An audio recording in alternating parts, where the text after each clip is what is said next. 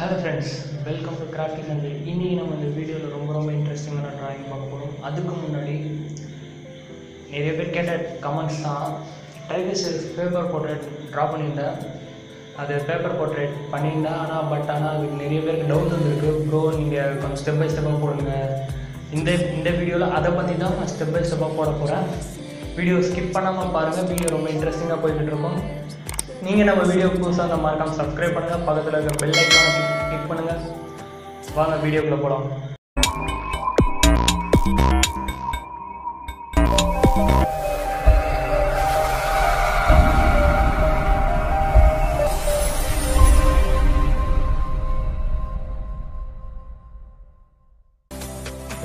நல்லா இருந்தால் மறக்காமல் கமெண்ட் பாக்ஸில் கமெண்ட் பண்ணுங்கள் என் ஃப்ரெண்டுக்கான என் ஃப்ரெண்டு கேட்ட ஆர்டரு ஃப்ரேமும் நான் போட்டது. நல்லா இருந்தால் மறக்காமல் கமெண்ட் பாக்ஸில் கமெண்ட் பண்ணுங்கள் இந்த ஃபோட்டோவில் இருக்கிற யாரும் கண்டுபிடிச்சாலும் மறக்காமல் கமெண்ட் பாக்ஸில் கமெண்ட் பண்ணுங்கள் இப்போ ஸ்டெப் ஒன் என்னென்னா நம்ம நம்ம இப்போ பாக்ஸ் போட்டு ட்ரா பண்ணால் மொத்த ஃபேஸையும் நம்ம எல்லாத்துலேயுமே ட்ரா பண்ணி அதுலேயே ட்ரா பண்ணிவிடுவோம் இதில் என்ன பண்ணணும்னா ஃபேஸ் தனியாக இதோ இந்த மாதிரி ஃபேஸ் தனியாக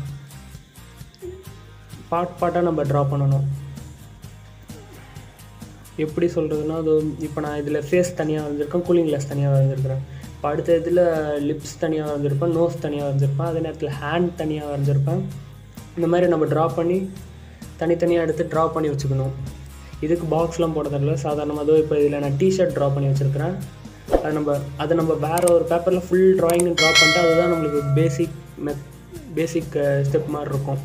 எப்படி சொல்கிறதுனா அதில் நம்ம அந்த அவுட்லைனை பார்த்து தான் நம்ம அது மேலே நம்ம ட்ராயிங்ஸோ ஒட்ட போகிறோம் க்ளூவை யூஸ் பண்ணி நம்ம அதில் ஏதோ இந்த மாதிரி நான் அவுட்லைன் அதுலேயே லே லைட்டாக போட்டிருக்கேன். அது வீடியோவில் தெரியாது.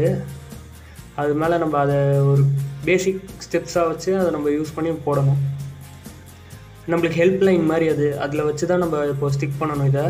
இது ஃபுல்லாக ட்ராயிங் முடிஞ்சதுக்கப்புறம் என்ன பண்ணணும்னா ஃபுல்லாக ட்ராயிங் கலர் கரெக்டாக இருந்துச்சுன்னா பேக்ரவுண்டுக்கு நம்ம இது ஏதாவது தேவைன்னா கலர் பேப்பர் அந்த மாதிரி ஏதாவது ட்ராவை ஒட்டிக்கணும். அதுக்கப்புறமேட்டு க்ளூ எடுத்துக்கணும். க்ளூ எடுத்து ஃபுல்லாக எடுத்து அந்த ட்ராயிங் ஃபுல்லாக நம்ம அப்ளை பண்ணிடணும். ஏன் க்ளூ அப்ளை பண்ணிட்டு எதுக்கடா அசிங்கமாயிடுமே அப்படின்னு நினைக்காதீங்க. இது ஃபுல்லாக காஞ்சதுக்கப்புறம் ஒரு நீங்கள் ஒன் டே ஃபுல்லாக க்ளூவை காய வைங்க.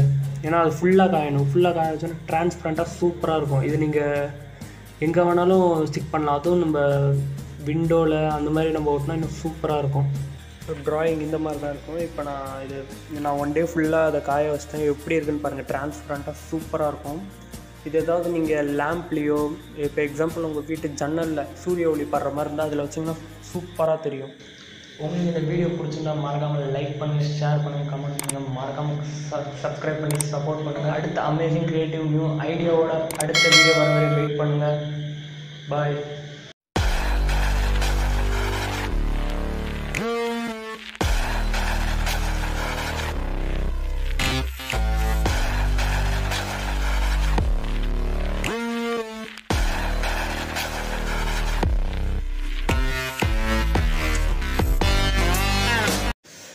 லைட்லேயே சூப்பராக இருக்குல்ல? இதை நீங்கள் விண்டோவில் கூட மாட்டிக்கலாம். அதில் சூரிய ஒளி படும்போது சூப்பராக இருக்கும். இந்த ட்ராயிங் பிடிச்சிருந்தா மறக்காமல் லைக் பண்ணுங்கள் சப்ஸ்கிரைப் பண்ணுங்கள் அடுத்த வீடியோ வர வரை வெயிட் பண்ணுங்கள் பாய்